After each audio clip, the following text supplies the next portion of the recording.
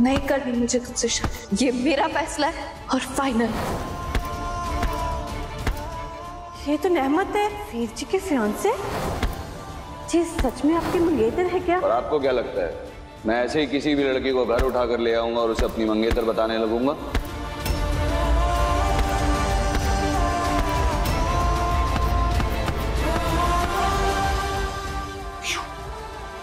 क्यों? मेरे साथ ऐसा क्यों होता है? क्यों नेमत बार बार मेरी आँखों के सामने आ जाती इस बार मैं उसे भूलना चाहता था। चाहता था कि मेरी ज़िंदगी से निकल जाए वो। एक। मेरी ज़िंदगी वापस आ गई वो भी किसी और के साथ। अब तक मुझे लगता था कि तेरी कोई मजबूरी नहीं होगी नेमत। लेकिन आज मुझे लग रहा है कि उसने मुझे धोखा दिया।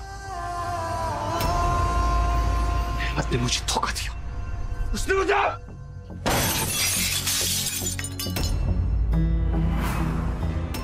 अपने जिस भी घटिया मकसद के लिए चाचा जी से शादी की है ना, उस मकसद में एकम और मेरा इस्तेमाल मत करना।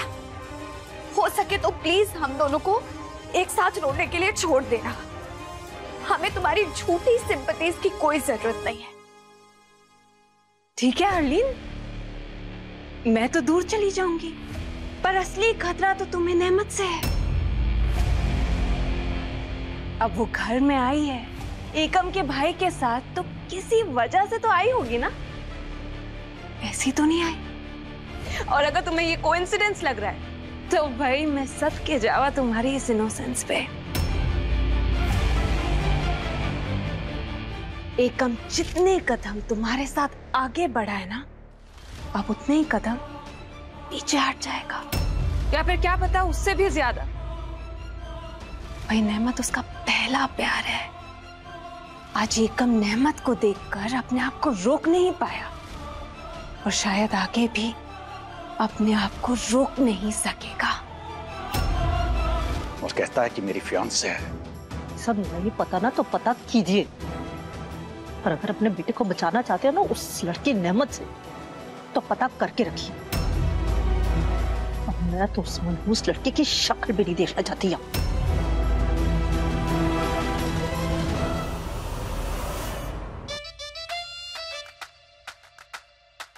लो जी न्यू मम्मी भी आ गई। हो गई तैयार? आइए, बैठिए। चलिए चलिए।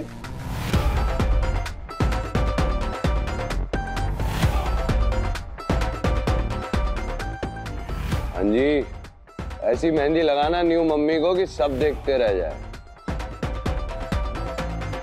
हाँ हाथ पे मेहंदी से बी ज़रूर लिख देना। बी फॉर बल्ली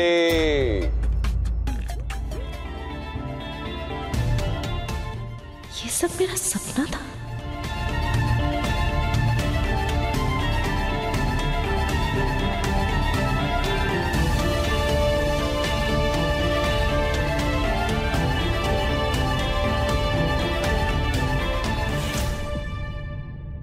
मैं कुछ नहीं छुपाऊँगी। कुछ मैं अपने दिल में।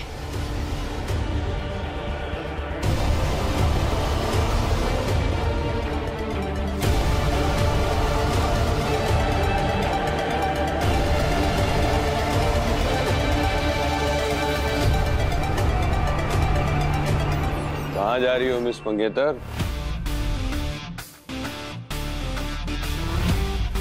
भूल गई। मेहंदी के इस फ़ंक्शन में रंग जमाने की ज़िम्मेदारी तुम्हारी और मेरी है।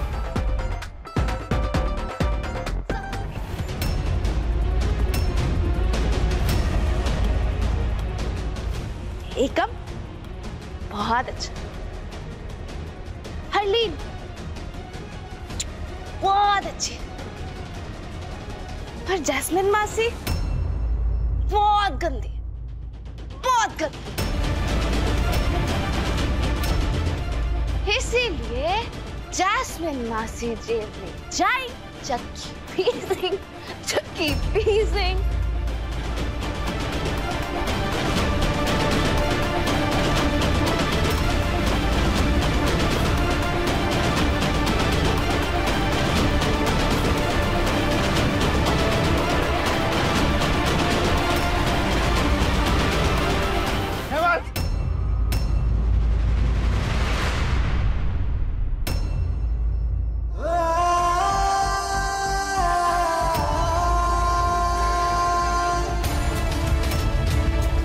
अपना इंट्रोडक्शन दे दिया। आई एम एसपी एकम रंधावा तुम्हारा क्या है?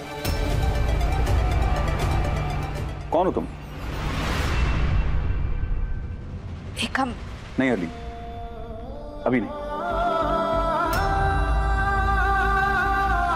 मुझे जानना है इसके बारे में। क्योंकि जिस नेमत को मैं जानता हूँ वो ये नहीं है।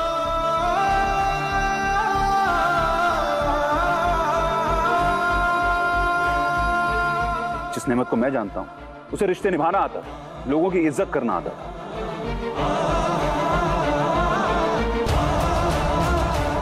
अगर वो नाराज़ भी होती थी ना तो दिल से यूँ क्यों मान जाती थी। तुम वो नहीं। इस वक्त तुम्हारी कैरेक्टर से घिन आ रही है।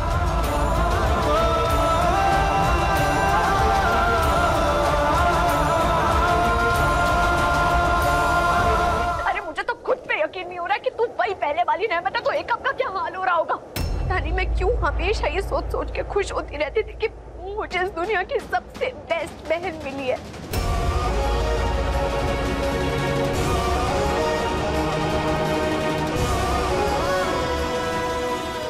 पता चल गई ना मेरी असलियत? तो अब मेरे बारे में कोई गलत फहमी मत पालना ठीक है, हरलीन?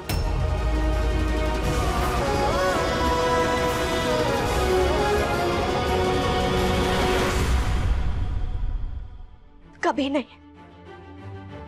वो तो मैं पागल थी जो मैं यकीन नहीं करती थी कि नेहमत ऐसा कर सकती है, नेहमत एकम को मंडप में छोड़ के भाग सकती है।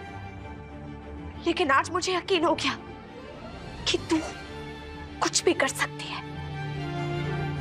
तुझे पता है, तेरे लिए हम लोग जितनी तालियाँ बजाए ना, उतनी कम है। A very big hand for Miss नेहमत तूने तो नाज को तक पीछे छोड़ दिया।